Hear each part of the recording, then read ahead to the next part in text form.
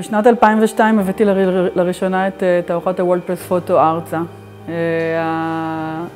האימג' הפותח הראשון של הוולדפרס פוטו היה, הייתה תמונה של יאסר ערפאת עם החבר'ה, מחזיקים ארון קבורה עטוף בדגל פלסטין, תמונה מאוד מאוד חזקה שחרוטה לי מאוד חזק בתודעה ובראש.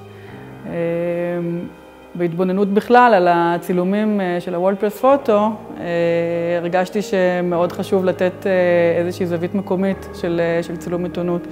שנה לאחר מכן, ב-2003, נולדה עדות מקומית.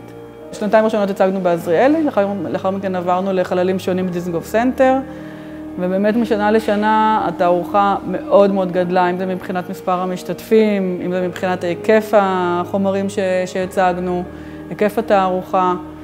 וכמובן הקהל, שממש הראה גרף עולה. באיזשהו שלב התחושה הייתה שאנחנו צריכים למצוא בית קבוע.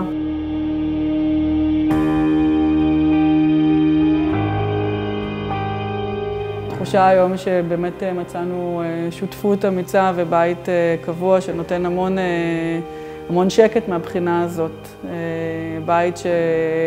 חשוב לו, לא פחות מאיתנו, שהתצוגה תהיה ברמה גבוהה ושמכבדת את התערוכה.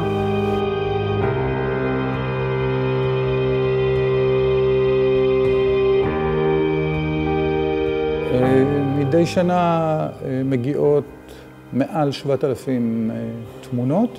יש שלושה תהליכי, שלבי שיפוט. יש שלב מקדים שבו האוצרת וחבר המערכת, יחד עם שני שופטים, מחבר השופטים, מצמצמים מ-7,000 ל-1,500, ובהמשך חבר השופטים מצמצם ל-500, ואחר כך מבצע את הבחירה של שני המקומות הראשונים מבין ה-500, בכל תחום ותחום, כאשר האוצרת מוסיפה או העוצר מוסיפים את המקום השלישי ואת בחירת האוצרת.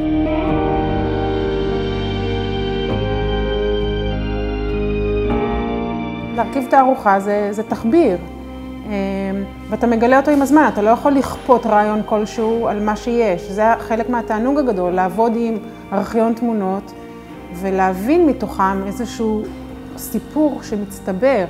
הסיפור שמצטבר הוא כמובן מורכב מהרבה מאוד אלמנטים. הצילום של נתן דביר מ-2005, פינוי ההתנחלות חומש בגדה. חיפשנו לתערוכת העשור פריים שיהיה בו אש. זאת אומרת, לא יכולה להיות תערוכה שמדברת על תקופת חיים פה, במקום הזה, ושל אין בו אש.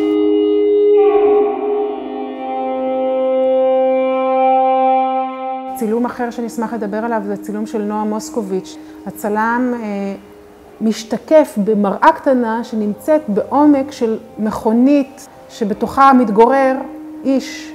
הוא אדם חרדי, הוא מצולם בשעת תפילה.